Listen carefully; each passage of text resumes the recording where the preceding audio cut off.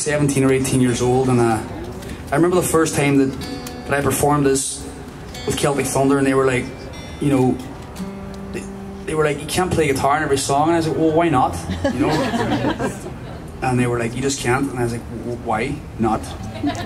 So you have to understand, if you play the guitar your whole life on a stage, and then someone tells you to stand there without a guitar, you don't know what to do with your hands, right?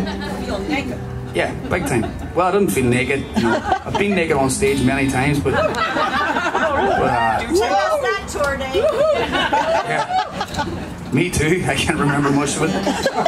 But uh, but yeah, no, I remember it was funny. They kept going, "You can't use your guitar," and I was like, "Well, what do you do? Like, what, what am I supposed to do with my hands if I can't use my guitar?" You know what I mean? So they said, "Just like do stuff." So I was like, "Okay." So that was random stuff, you know. And then, has anybody ever seen Talladega Nights, the movie? Yeah. The bit where he keeps lifting his hands up? And he's like, I don't know what to do with my hands.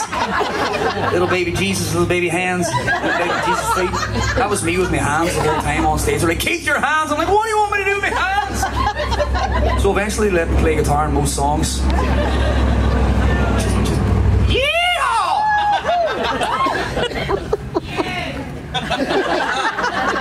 Yeah! Can't beat them, join them. This song's for the new happily married couple. This song's called Lauren and